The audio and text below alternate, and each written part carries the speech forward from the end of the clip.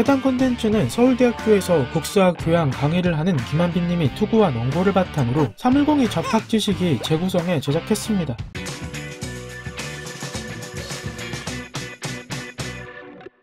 결혼은 서로 다른 두 사람이 가족이 되는 사회적 제도입니다.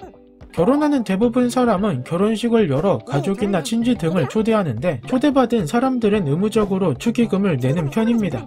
이러한 문화는 결혼식뿐만 아니라 장례식이나 돌잔치 등에서도 이루어집니다. 포괄적인 용어는 부조금이라고 하고 크게 좋은 일에 내는 축의금과 슬픈 일에 내는 부의금으로 나누어집니다. 그런데 이런 문화는 언제부터 시작된 걸까요? 그 기원은 알 수 없으나 부조금은 서로 간의 관계를 강화하고 사회적 연대를 나타내는 역할을 했기에 아주 오래전부터 존재했으리라 추정할 수 있습니다. 개중 조선시대의 부조금 문화에 관해서 알아보려고 하는데 조선사회 특성상 장례식과 제사를 많이 중시하기에 장례식에 많은 부조금이 모였고 결혼식에도 부조금이 있었습니다. 그리고 이렇게 모인 금액은 꼼꼼히 기록도 했습니다. 흥미로운 점은 부조금 액수를 정하는 마을 규정까지 있었다는 것인데 조선시대의 양반들은 자신들이 거느리는 마을 사람들을 효과적으로 다스리기 위해 규약을 만들었습니다. 이 규약은 대체로 북송 시대부터 내려오는 남전 여씨 향약과 이를 중국 남송 시대의 성리학자 주의가 보강하여 만든 주자증손 여씨 향약을 참고해 현지 사정이나 다른 지역 규약을 고려하여 만들어졌습니다. 이중 주자증손 여씨 행약에는 혼례에 축하해주는 것이 마땅하고 축하할 시에 선물을 주어야 한다고 규정했습니다. 이때 줄 수 있는 선물에는 음식과 술, 옷감, 과일 등이 있었고 수량에 대한 상한과 하한도 정했습니다. 다만 결혼식에 반드시 갈 필요는 없고 부조만 보내도 된다고 했습니다. 조선에서 만든 행약도 이를 현지화해서 결혼식에 내야 하는 부조금 액수를 구체적으로 정했습니다.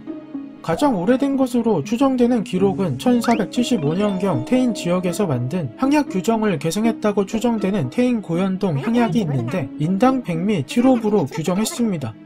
기타 다양한 향약에서는 개인당 결혼 부조금을 적게는 100미 7홉에서 많게는 5승까지 규정했고 닭이나 대구 등 고기와 생선으로 규정한 곳도 있었습니다. 돈으로 규정하지 않은 이유는 조선의 화폐 정책이 오랜 기간 자리잡지 못해서 동전이 보급된 후에도 쌀이나 식량 등을 통해 물물 교환을 많이 했기 때문으로 추정합니다. 그렇다면 백미의 가치를 요즘 돈으로 환산하면 얼마나 될까요? 기록마다 학자마다 기준이 워낙 다르기에 지금부터 이야기하는 내용은 자체적으로 환산한 내용임을 알립니다. 임진왜란 때 학자 오이문에 의해 작성된 일기 세미록에 따르면 조선시대 때 일반적인 성인 남성은 한 끼에 쌀 7호 이상을 먹었다고 합니다. 당시 식사는 하루 두 끼가 원칙이었으므로 대략 15톱을 하루 식사량으로 가정할 수 있습니다. 통계청에 따르면 2022년 기준 1인 가구 한 달 평균 식비는 66만원이라고 하니 하루에 약 2만 2천원을 쓴다고 추정할 수 있습니다. 7호분 하루 식사량의 절반이니 대략 1만원 정도로 추정해볼 수 있고 5승은 50호빔으로 대략 7만원 정도로 추정됩니다. 이에 따라 1만원에서 7만원이 조선시대 때 되는 축의금 액수라고 추정할 수 있습니다. 현대와 비교했을 때 적은 액수로 보이지만 현대의 결혼식보다 부담하는 금액이 적었을 것이므로 합당하지 않았을까 생각합니다. 그렇다면 이렇게 보인 부조금은 얼마나 됐을까요? 축의금 내역을 적은 부조록을 보면 내역이 많지는 않았던 것인지 장수가 많지는 않고 대략 한 건당 한 권, 그것도 한 장에서 네장 정도로 구성되어 있습니다. 현대와 같이 원 단위로만 적는 것이 아니라 각종 물품을 상세하게 적어야 했음을 고려하면 그 양이 적은 편임을 알 수 있습니다. 실제 부조한 사람의 수도 그렇게 많지는 않았던 것으로 보이는데 강릉 김씨 삼척파 향길댁에 남아있는 13건의 부조기를 살펴보면 부조자 수가 많은 경우 90명 정도이고 적으면 10명도 채 되지 않았습니다. 이 집안이 당시 지방의 유력 가문임을 생각해 본다면 상당히 가까운 사람들만 부조에 참여했음을 알 수 있습니다.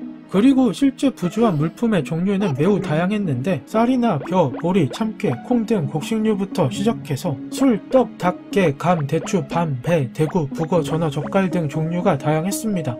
보다시피 대부분 먹을 것이고 술과 닭, 곶감, 떡, 달걀이 많았다고 하며 돈이나 촛불, 옷 등의 물품을 보내는 경우는 극히 드물었다고 합니다. 이들을 요즘 돈으로 환산하는 것은 구체적으로 추론하기 어려운데 이 기록이 강원도에서 만들어진 것인 만큼 쌀보다는 다른 식자재를 부조금으로 내는 경우가 많았기 때문입니다. 양으로 살펴보면 술은 한 동이를 부조한 사람이 제일 많았고 곶감은 대체로 두 줄, 달걀은 10개 정도를 부조했다고 합니다. 현대인이 보기에 성의 없어 보이지만 옛날에는 술이나 곶감, 달걀 모두 대량 생산이 어려웠기에 수만원 이상의 값어치를 했을 것으로 생각할 수 있습니다. 궁금증이 해결되셨나요?